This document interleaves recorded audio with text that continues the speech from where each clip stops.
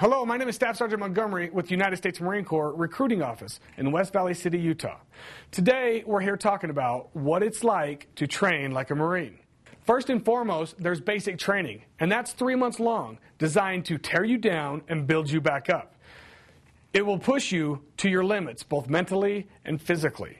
However, basic training is just that basic training. Every Marine must then go to Marine combat training or infantry training to learn the skills necessary to operate in a combat environment. Again, these schools will push you to your limits, both mentally and physically.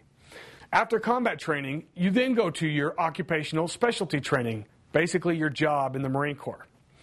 After your job training, you then get stationed in the Marine Corps, usually at Camp Pendleton, California, or Camp Lejeune, North Carolina, as well as Okinawa, Japan. When you pick up rank in the Marine Corps, you will then go to leadership training for that rank.